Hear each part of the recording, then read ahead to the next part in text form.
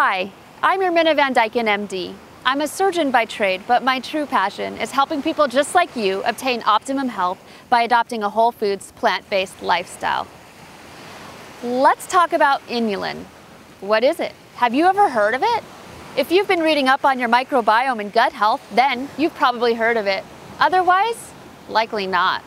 So, what exactly is inulin and why on earth should you care? Inulin is a type of soluble fiber. It's found in many plants. It's been linked to several health benefits and it's even added to many foods.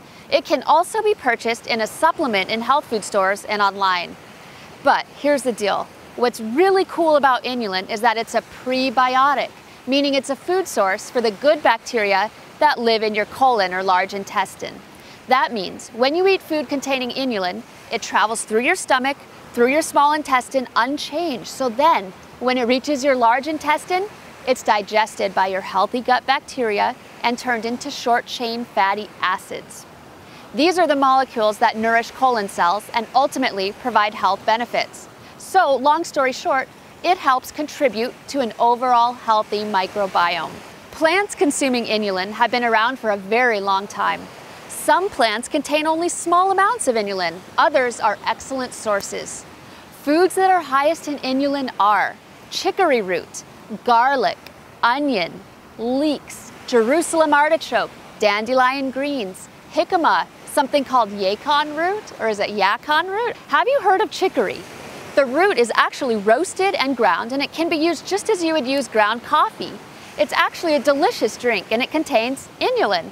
As a matter of fact, it's one of the highest inulin containing foods we know of. About 45% of the whole root is inulin. Additionally, chicory root helps increase bile production, which improves fat digestion. Lastly, chicory is full of antioxidants. So inulin can be purchased as a supplement too. This type of inulin is usually extracted from the chicory root. Sometimes the inulin is altered by adding or removing certain molecules to it. Let's take a few minutes to talk about eight health benefits of inulin. Number one, Inulin improves digestive health. It does this by supporting the growth of beneficial gut bacteria. As we discuss at length ad nauseum here on Out of the Doldrums, having the right balance of bacteria is essential for keeping your gut healthy and protecting you from disease. Number two, inulin relieves constipation. Due to its chemical composition, when inulin is mixed with liquid, it forms this creamy gel and it's ideal for naturally relieving constipation. When in the gel state, inulin has a structure similar to lipids or fats, and this helps lubricate or oil the digestive tract and decreases the risk of developing other problems like hemorrhoids. But back to the constipation issue. One analysis found that people taking inulin experienced more frequent bowel movements and improved stool consistency. Another study looked primarily at older adults and found that those adults that were supplementing with 15 grams of inulin per day reported less constipation and better digestion. Number three, inulin promotes weight loss. Inulin may help regulate appetite in adults, thereby leading to weight loss. When overweight and obese adults took 21 grams of inulin per day, their hunger hormone levels decreased and their fullness hormone levels increased. That means they felt less hungry. Another study demonstrated that people taking inulin lost over two pounds while the control group who just ate normal gained a pound. Number four, inulin helps control blood sugar in people with prediabetes and diabetes. Some people think this happens because inulin decreases fat in the livers of people with diabetes.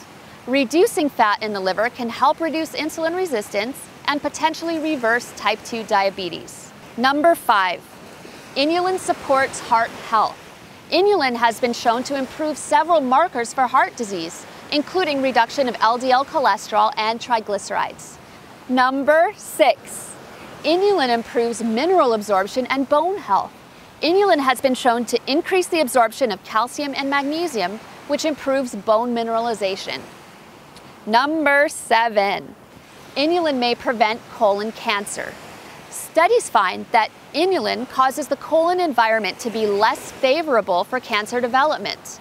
We think this is because inulin actually ferments into a compound called butyrate, and we know butyrate protects colon cells. On to number eight.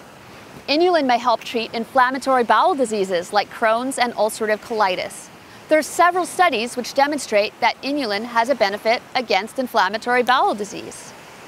So here's the question. Is inulin safe? Are there side effects? Well, inulin's been studied extensively. It appears to be safe. I would recommend starting with a very small dose and increasing slowly. An all or nothing approach does not make sense here. It makes you more likely to experience side effects. The most common side effects with inulin are flatulence or gas, bloating, abdominal discomfort, loose stools, and diarrhea. Most of these side effects improve the longer you stick with taking the inulin. So now, to the big question. Do we try to get our inulin from food or do we do it with a supplement? I bet you guys have no idea what I'm gonna say about that. Of course, we try to get it from real food. Work on eating those onions, garlic, asparagus, jicama. Learn to enjoy a hot chicory drink. Go out on a limb and try that yacon root or yacon root, not sure.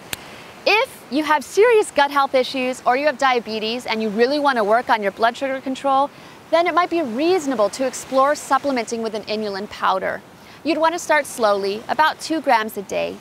Do that for a couple weeks, then increase your intake by two grams at a time till you reach somewhere between 10 and 30 grams a day. And it's a wrap. Thanks for watching. I hope you guys learned something valuable and applicable to your individual health journey. If you like this video, guys, give it a thumbs up. If you want to show us some real support, subscribe. We love hearing from you guys, so please comment with your thoughts, suggestions for videos, questions, whatever you want to bounce back at me. Would love it. Let us know what health topics you guys want to learn more about in future videos. Until next time, aloha guys.